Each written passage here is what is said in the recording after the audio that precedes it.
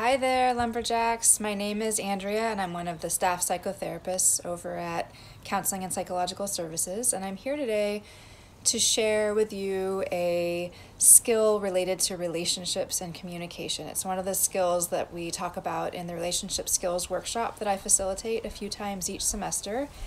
And I just wanted to share it with you today and see if it might be useful for you and maybe you'll want to sign up for the workshop. It could be an online version of it or an in person workshop once we're in person again. So let's just say um, there's, let's go with a scenario. Let's say you've got a partner and you live together. Um, and let's say that for a long time now there's been an issue of dishes in the sink and your partner has a tendency to not wash their dishes and leave them in the sink. And that's really upsetting for you and you've talked about it a few times. And they've said they'll, they'll, they'll start washing their dishes. They've promised that. So let's say um, in this scenario you've come home from a long day at work and at school and the dishes are in the sink. It's your partner's dirty dishes and they're in the living room playing a video game or something like that understandably you'd probably be pretty upset. So um, let's look at two different ways you might communicate with your partner and discuss the differences between them. In scenario one, let's call this the um, the unprocessed response. you might just go into the living room and stand between them and the TV and wait until they've got their attention on you and you might say you're a slob. Why do you always leave your dishes like this? I'm tired of cleaning up after you. If you don't wash those dishes right now i'm moving out okay so that's one thing you could do. You could say that. Um, curious, just hearing me say that, how might you receive that if you were the person on the other end of the communication? Um, chances are you'd probably feel pretty defensive because you statements and calling names definitely produces defensiveness in the other party. That's pretty standard response, human response to that kind of communication um, at the end there there was an ultimatum you know a really serious ultimatum of something must happen right now or a big decision is going to be made and the other person won't really have much say in that. Um, so that's response number one.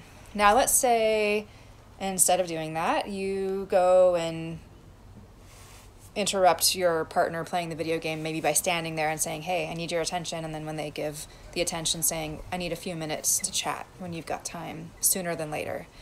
So they'll get the message that it's important and then once they are able to communicate you might say you know i, I just came home and saw that there were dirty dishes in the sink and immediately i felt angry i felt sad I, i'm disappointed because we've talked about this before and you know, I, I've made it clear that I really value a clean kitchen, a clean house, and uh, this keeps happening. Um, I'm not sure if I can live like this, and I need to know if, if I'm going to be able to live with you, you having a clean house like we talked about. So let's say you're the recipient of that kind of statement. It still hits the same points of what happened, disappointment, the feelings, and kind of an ultimatum, but not really an ultimatum. There's there's some spaciousness there, saying, "Hey, I, I I'd like you to be involved in this." So, given that different way of describing what's going on, do you think you'd be as defensive as response number one? Chances are probably not.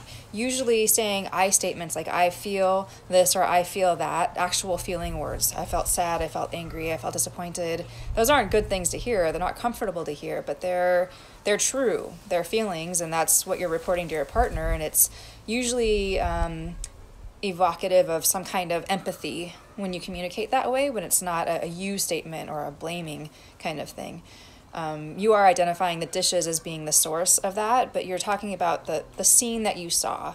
It's not so much about your partner, but their actions.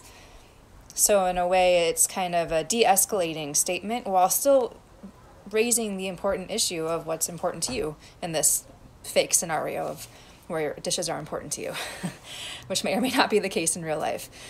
So, um, there are a few differences between those those two example statements that I shared with you today. Uh, the second one is derived from something we call nonviolent communication. It's a communication style that we discuss and practice quite a bit in the relationship skills workshop. The workshop's only four weeks long. It's about an hour, hour and a half each time, depending on the size of the group that we have. And um, besides nonviolent communication, there's several other things that we go through around relationships and they're they're applicable to all kinds of relationships not just romantic relationships. So if you found this discussion today useful to help you think about the ways that you communicate with people in your life then i recommend joining the group and you might learn some other useful stuff and you definitely get a, a deeper dive into nonviolent communication that's for sure. All right. Thanks jax. See you around soon